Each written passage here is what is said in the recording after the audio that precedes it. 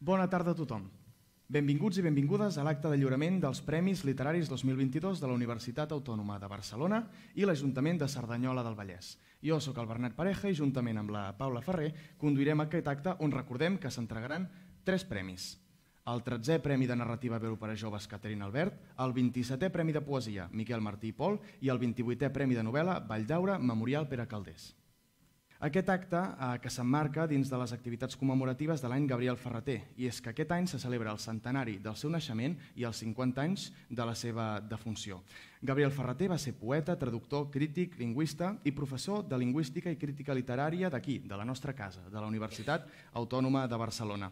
Ferreter també dona nom a la col·lecció de llibres on es publiquen totes les obres guanyadores dels Premis Literaris que l'any 2021, com a dada curiosa, van arribar al seu volum número 100, aquest acte vol commemorar que els nostres premis persegueixen, que és el que Ferreter perseguia amb la seva obra, que el pensament i l'escriptura lliures arribin al màxim de llocs i persones possibles. A continuació, llegirem un parell de poemes del poemari Les dones i els dies. Dits. Lleugera, s'iniciava la pluja d'una nit. Lleugers es confiaven els teus dits entre els meus dits. Un instant menut de Déu. Oh, només per dos dies. Em somreies a través del llagrimeig que plovia damunt el teu abric de cuir. Tremolor dels bruscos túnels, per on te'n perds. Cor confús. Aquesta nit faig engrunes amb la traça del record que tinc als dits. Buits dos dies van premar l'obra del toc dels teus dits, quan te'n perdies. El distret. Segur que avui hi havia núvols i no he mirat en l'aire. Tot el dia que veig cares i pedres i les soques dels arbres, i les portes per on surten les cares i tornen a entrar. Mirava de prop, no m'aixecava de terra. Ara se m'ha fet fosc i no he vist els núvols. Que demà me'n recordi. L'altre dia vaig mirar en l'aire i enllà de la barana d'un terrat una noia que s'havia rentat al cap amb una tovallola damunt les espatlles s'anava passant una vegada i deu i vint la pinta pels cabells. Els braços em van semblar branques d'un arbre molt alt. Eren les 4 de la tarda i feia vent.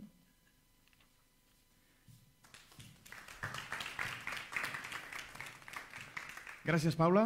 Abans de començar amb l'entrega de premis, escoltarem una actuació del cor de cambra de l'UAB. Endavant.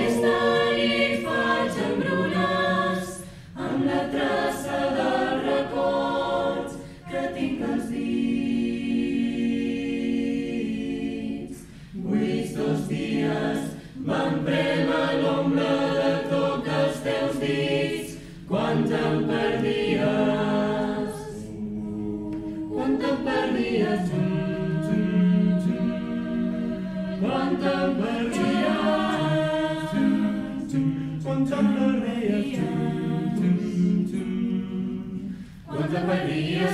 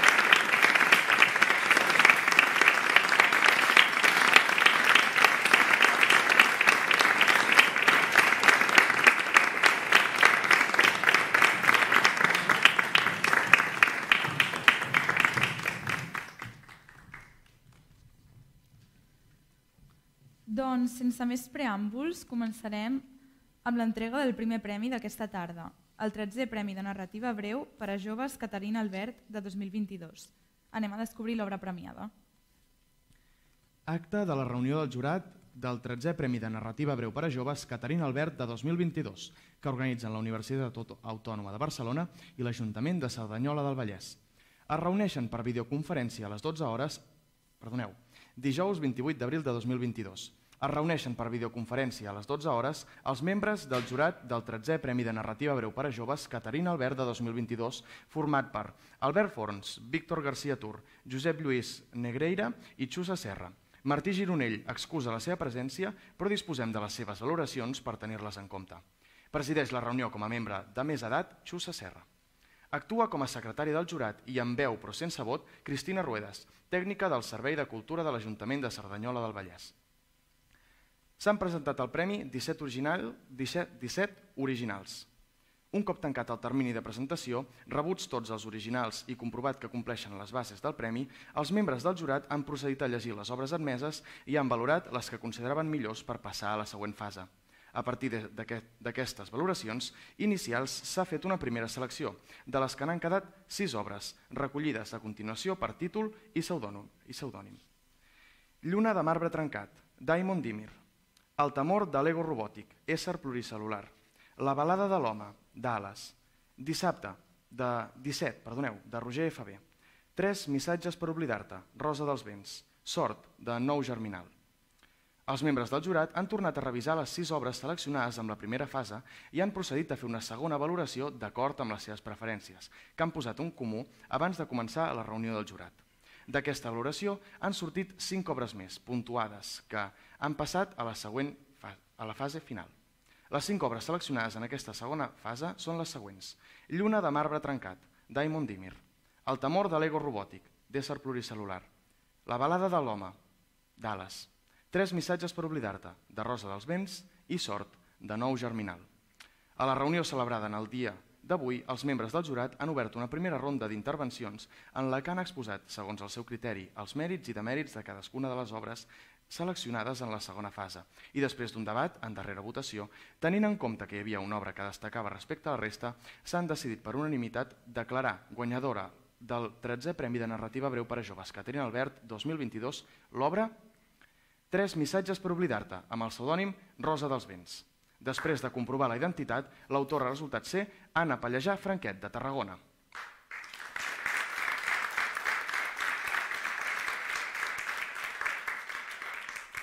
Els membres del jurat han considerat tres missatges com per oblidar-te com a obra guanyadora per la manera profunda i curosa que té de descriure amb veu directa i sincera una relació tòxica, per l'evolució que viu la protagonista i per l'honestedat amb qui s'aproxima el ressentiment, la por i el perdó. El jurat concedeix també una menció a l'obra Lluna de marbre trencat d'Aimon Dimir pel dinamisme a l'hora de recrear el dramatisme de l'antiga Roma i la riquesa del llenguatge. Doncs per fer l'entrega del premi demanem la presència a l'escenari del senyor Òscar Pons, regidor de Cultura de l'Ajuntament de Cerdanyola del Vallès, i a la senyora Rosa Maria Sebastián, vicerrectora d'Innovació i de Projectes Estratègics de la UAB, que lliurin el trofeu i el diploma acreditatiu a la senyora Anna Pallejà.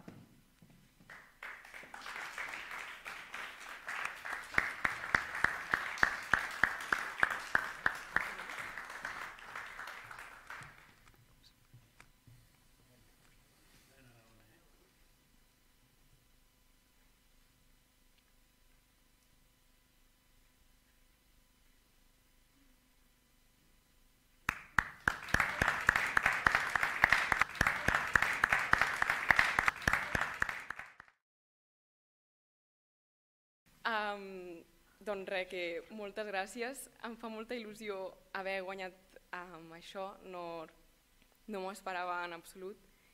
Eh, I doncs crec que és important perquè mm, hi ha tantes dones ficades en relacions tòxiques i que més gent tingui l'oportunitat de llegir textos i de conscienciar-se sobre aquest tema i que tot això es valori és un pas endavant i s'agraeix moltíssim.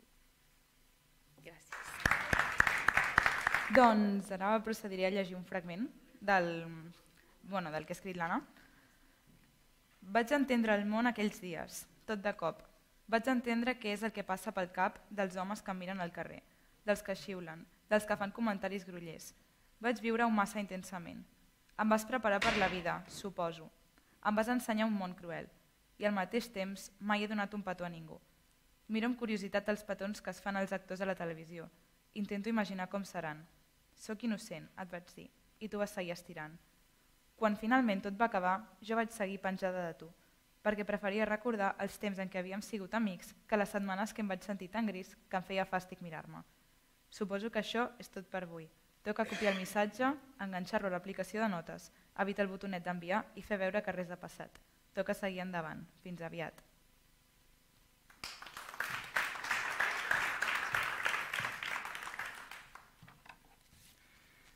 Doncs uh, moltes gràcies, Paula.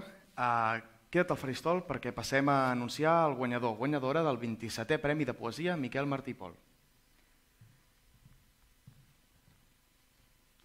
Acte de la reunió del jurat del 27è Premi de Poesia Miquel Martí i Pol de 2022, organitzat per la Universitat Autònoma de Barcelona i l'Ajuntament de Cerdanyola del Vallès. Es reuneix el dimecres 4 de maig de 2022 a les 4 de la tarda el rectorat de la Universitat Autònoma de Barcelona el jurat del 27è Premi de Poesia Miquel Martí i Pol per decidir si escau l'obra guanyadora de la present edició del Premi. Assisteixen a la reunió tots els membres del jurat, que està format per Albert Galbadà Irujo, Esteve Martínez Serra, Esteve Plantada i Hermoso, Josep Cíbit i Mateu i Pilar Tejero Pérez. Estan presents Joan Carles Mercet, director del Servei de Publicacions de la Universitat Autònoma de Barcelona, que actua com a secretari del jurat, amb veu però sense vot, i Cristina Ruedas del Hierro, tècnica de cultura de l'Ajuntament de la Cerdanyola del Vallès, que actua com a observadora, també amb veu però sense vot.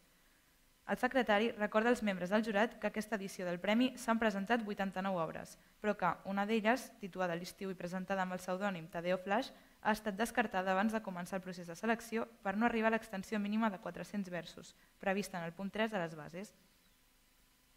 Han estat admeses, doncs, finalment al concurs 88 obres. En una primera fase, els membres del jurat van procedir a llegir les obres per grups i a valorar les que consideraven millors de cada grup per passar a la fase següent. A partir d'aquestes valoracions inicials es va fer una primera selecció, de la qual van quedar 15 obres, que es detallen tot seguit per títol i pseudònim.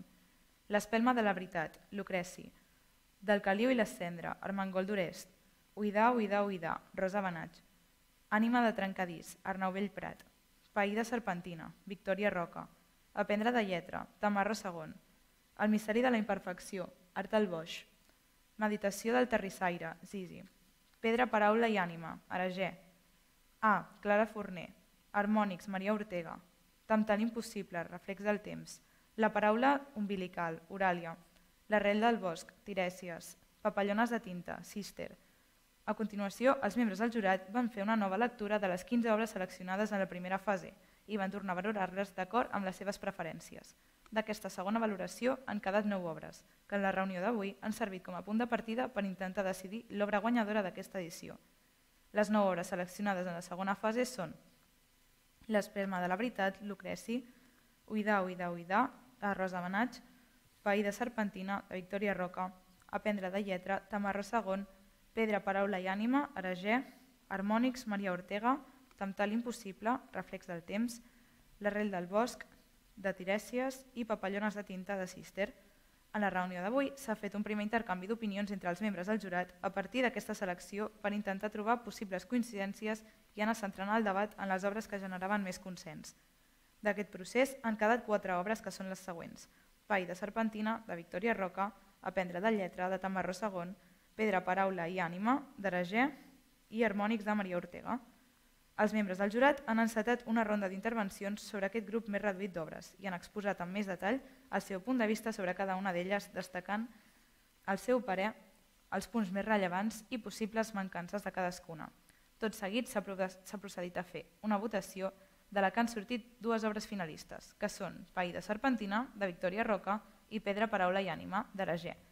Finalment, s'ha procedit a fer una última votació en la que, per una majoria de vots, ha estat declarada guanyadora del 27è Premi de Poesia Miquel Martí i Pol l'obra Pedra, Paraula i Ànima, presentada amb el pseudònim d'Arager. Un cop comprovada la identitat del guanyador, l'autor ha resultat ser Pep Cortés Vila, de Terrassa.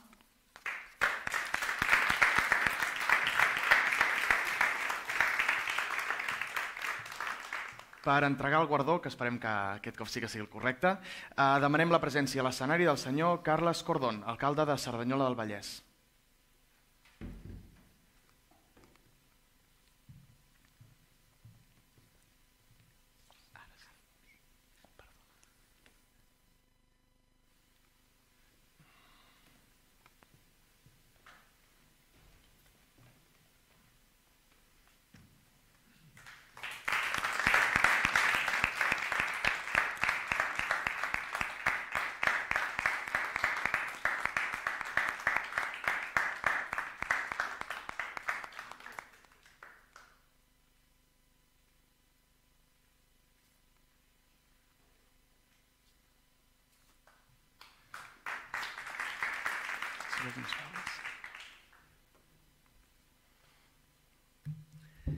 Bé, moltíssimes gràcies a la Universitat Autònoma, a l'Ajuntament de Cerdanyola, no solament per l'organització i la bona feina feta, la bona feina feta per l'organització d'aquests premis literaris, eh, sinó inclús per la continuïtat i pel bé a la cultura eh, que es fa amb, amb, amb, aquests, amb aquests actes.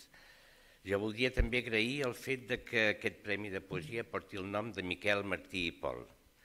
Miquel Martí i Pol és per molts de nosaltres, els que escrivim poesia, eh, eh una font inesgotable de, de, de lectures, d'inspiració, i és, a més, una de les veus eh, que perduraran en el temps, en els anys. No? Eh, per tot això, doncs, eh, moltíssimes gràcies a tots vosaltres, i dir-vos que un premi literari com aquest no és només un, un, un bé que se'ns fa als, als autors, sinó de més és una motivació, un estímul per seguir treballant i per seguir escrivint. Moltíssimes gràcies.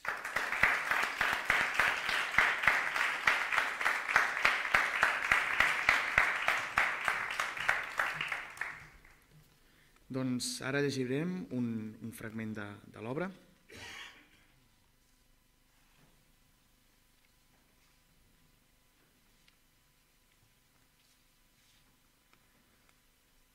Desdibuixar l'alè, fer-ne un poema. Pintar paraules, amb el do de la veu que flueix lliure, corriols avall per les vessants de les muntanyes, en aigües impolutes, cristal·lines, que nuen transparències en l'obagó de viure i de les fites enganyoses, banals insolibles. Pintar amb la veu la quietud, per fer-se presència, per atènyer ulls clucs la veritat oculta en els enigmes del llenguatge i transcendir la fregor de l'efímer. Muntanya i aigua, la Déu i el que el flueix, i el silenci d'un núvol que esquinça les distàncies. Escriure amb neu l'essència que ens amaguen del doll de la veu, del poema les paraules. Hi ha paraules com esquers, que atrauen la llum alada, Paraules que són fragments de camins i balustrades per ancorar-se en la mar per damunt de les onades. Paraules i pensaments que són miralls de l'albada, com les ales de l'ocells en les llums de la matinada. Com el far, l'amor, germà, com la lluna, estel i flama, que reverberen lluïsós, fosca, enllà del cor que sagna. Hi ha paraules com esquers que atrauen la llum salvada.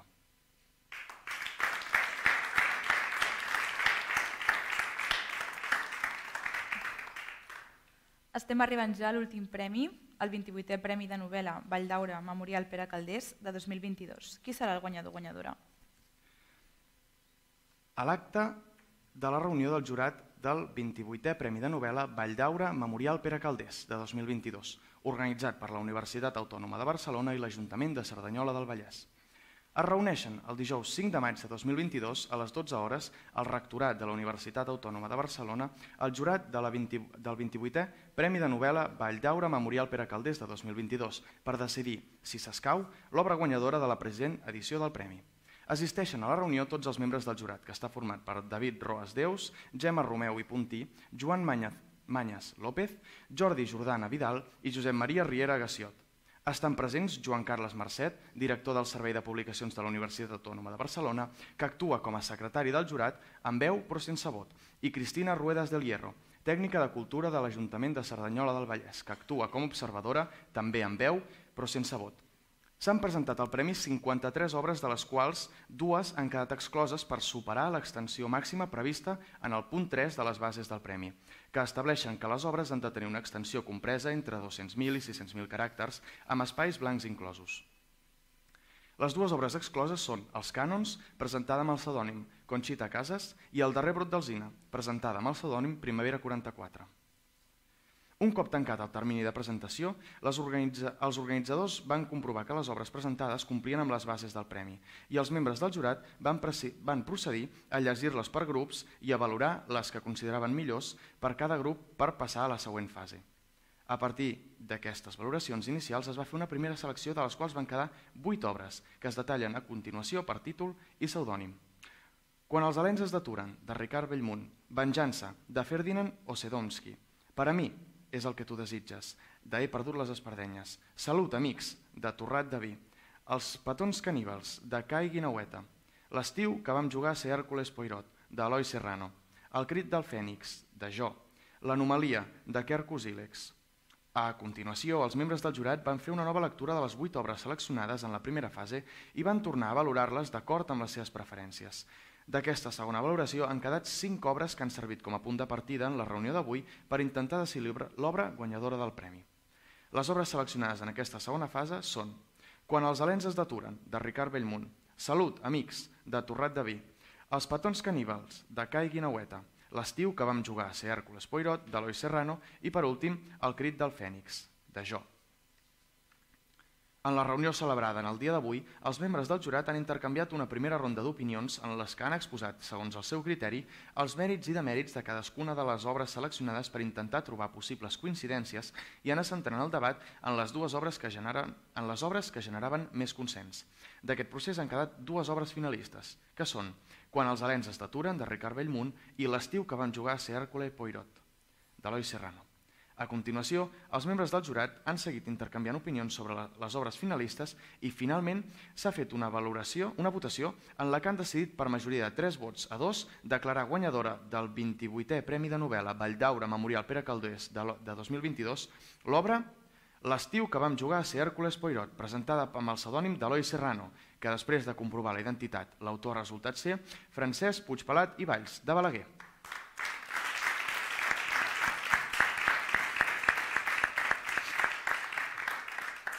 Per entregar el premi demanem que pugi a l'escenari el senyor Francisco Javier Lafuente, rector de la Universitat Autònoma de Barcelona, que lliuri el trofeu i el diploma acreditatiu al senyor Francesc Puigpelat.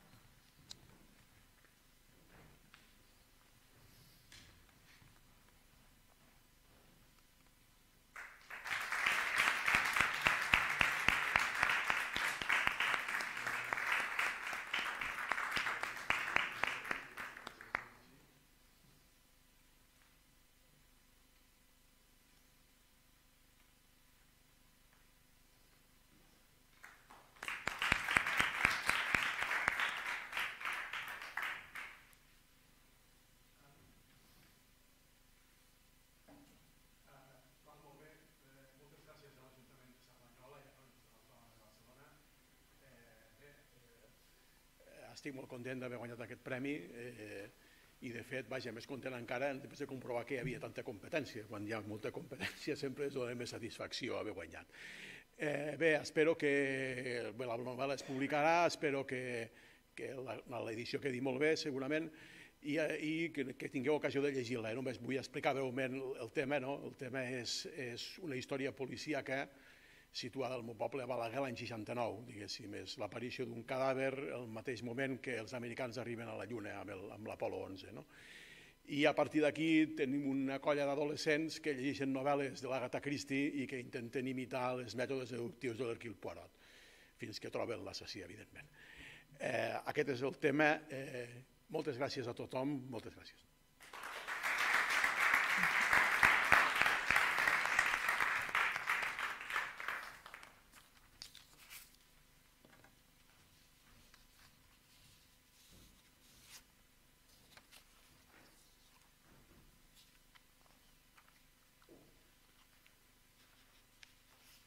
Doncs ara procediré a llegir un fragment de l'obra.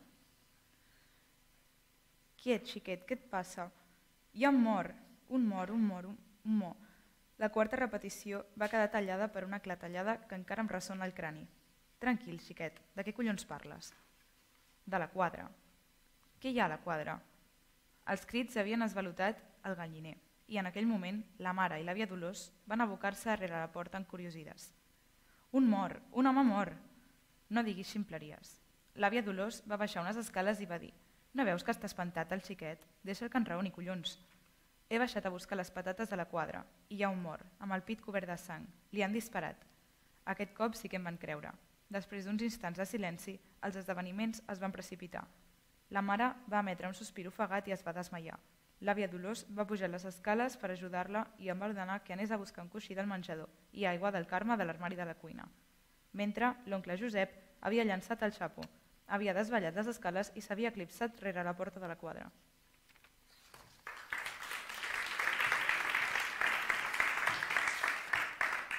Moltes gràcies, Paula, i també als guanyadors i a la guanyadora per ser avui aquí. Uh, continuarem, d'acord, amb una segona actuació del cor de cambra, que sabem que amb la primera doncs, us heu quedat amb, amb ganes de més. Endavant.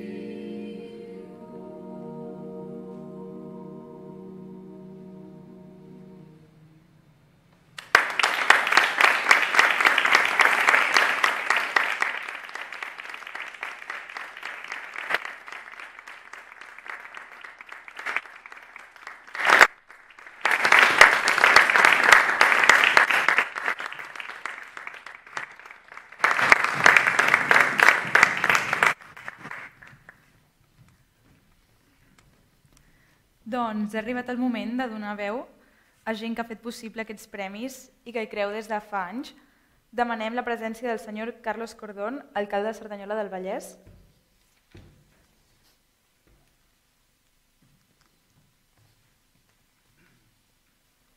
Molt bona tarda. Quin goig poder escoltar sempre el cor de la UAB, els actes que fem. És un goig per nosaltres. Rector, vicerrectora, regidor, membres dels jurats, participants, sobretot els guanyadors i la, i la guanyadora, familiars i amics.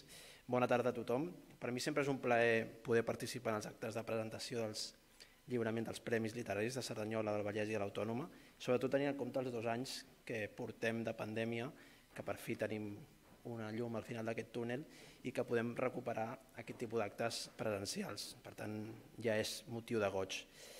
Um, vull agrair um, l'Autònoma per la seva col·laboració sempre per aquest lideratge en aquests premis literaris que compartim i que són un bon exemple d'aquesta bona entesa que hi ha hagut i que hi, ha, i que hi haurà sempre entre la universitat i la seva ciutat, Cerdanyola.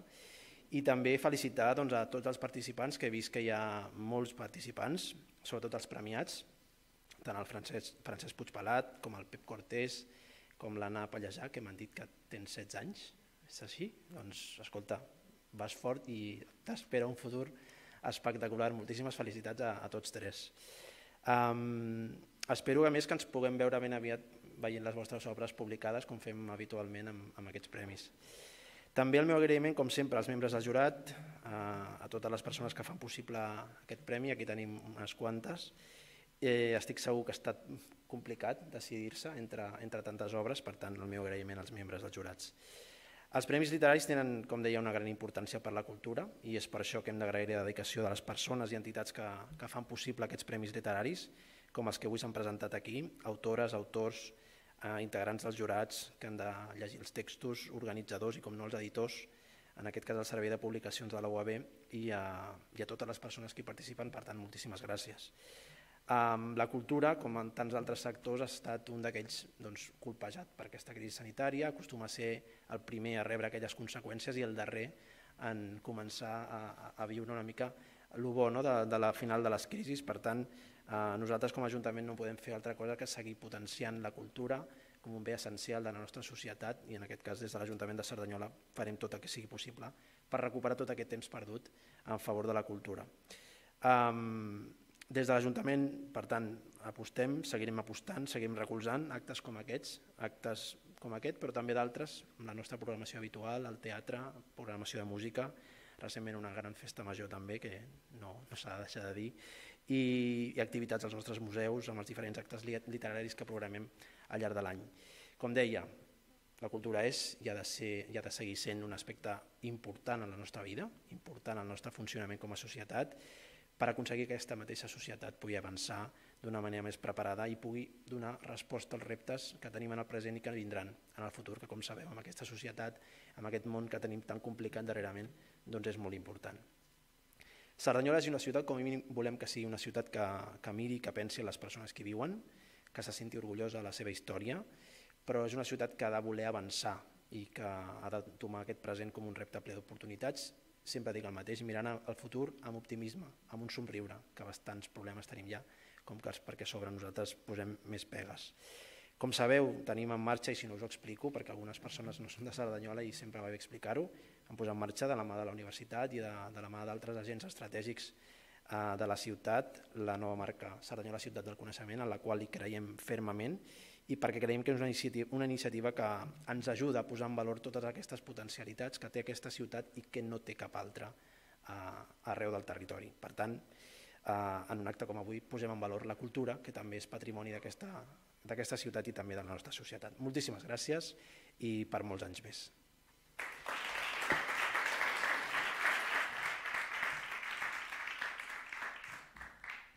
Doncs moltíssimes gràcies i demanem ara que, pagi, que pugi per part de la UAB a senyor Francisco Javier Lafuente, rector de la Universitat Autònoma de Barcelona. Gràcies. Gràcies, bona tarda. Senyor Carlos Cordón, amic, alcalde de Cerdanyola, de l'Ajuntament, eh, el senyor Òscar Pons, regidor de Cultura de l'Ajuntament de Cerdanyola, Rosa Maria Sebastián, vicerrectora d'Innovació i Projectes Estratègics del UAB, tots els participants als Premis Literaris, amics, amigues. És per mi un plaer acollir-vos eh, al campus de la Universitat Autònoma de Barcelona, part de la ciutat de Serranyola del Vallès. Afortunadament, aquest any celebrem l'acte de lliurament de premis que recupera la normalitat i el format habitual.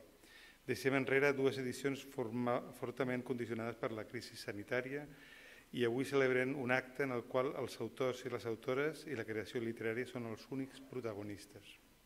En primer lloc, vull donar l'enhorabona als guanyadores, a les guanyadores i als guanyadors de l'edició 2022 del Premi de Novel·la Valdaura Memorial Pere Caldés, del Premi de Poesia Martí Miquel, Mart, Miquel Martí i Pol i del Premi de Narrativa Breu per a Joves Caterina Albert.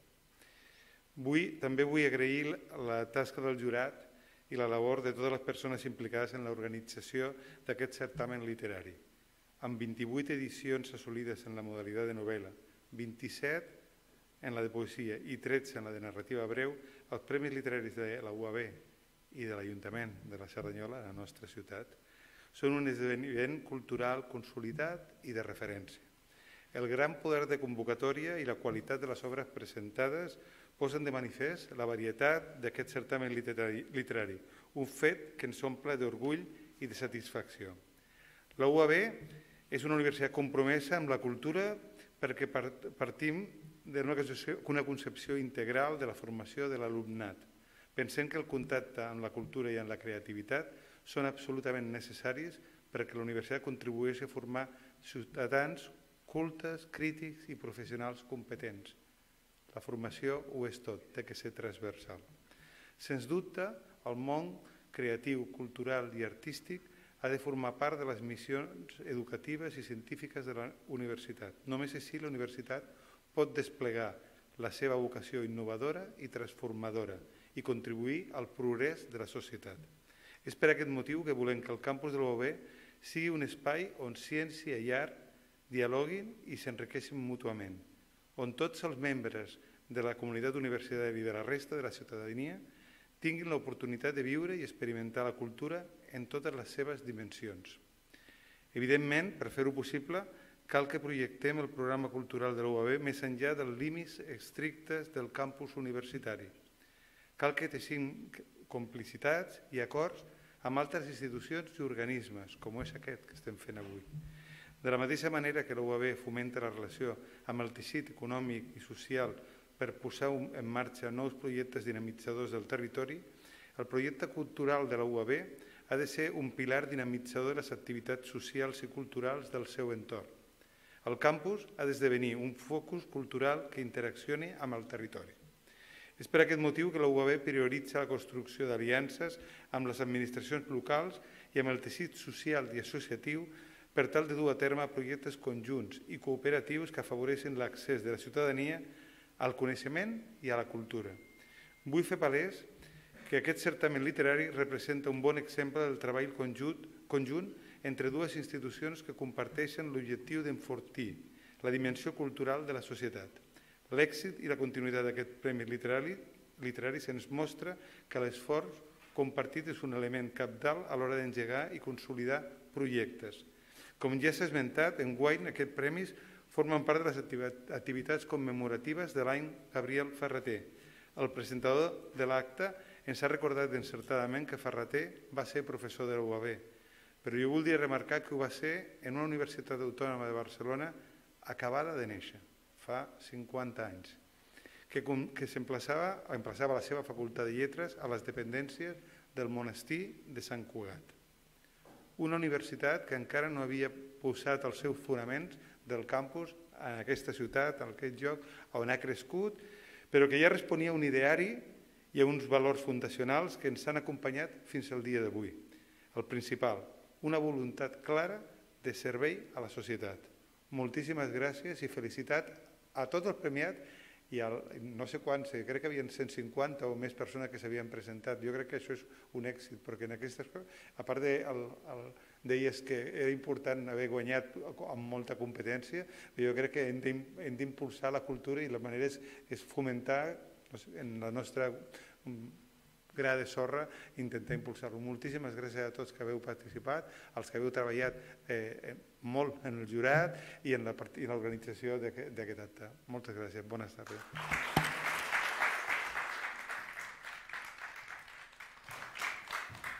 Moltes gràcies. Doncs Paula, això ja ho tenim, no? Pràcticament, però no ens despedirem nosaltres. Ho farà el cor de cambra, que segur que ho fa molt millor. De fet, en una gala cultural com aquesta, penso que no hi ha millor manera d'acabar que amb una de les perles que tenim a la nostra universitat, el cor de cambra. Dirigit per Poire Baivé i avui amb la participació de Patricia, Clàudia, Maria, Clàudia Maria, Àlex, Alba, Sara, Joan, Gustaf, Lainus i Daniel. Doncs endavant a la tercera actuació.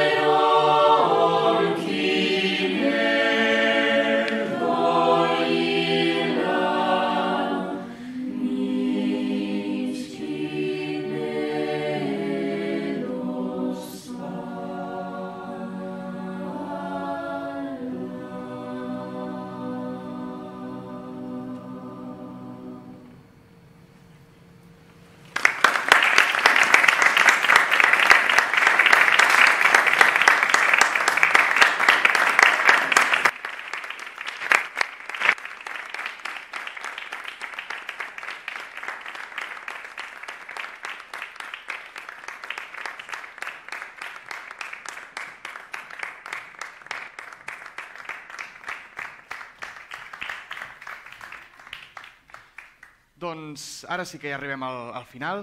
Abans de marxar, tornar a agrair a les autoritats per, per ser aquí, a la col·laboració dels membres del jurat, felicitar els guanyadors i a la, i a la guanyadora I llavors també agrair l'acompanyament del públic, tant els que esteu aquí com els que ens estan seguint en directe.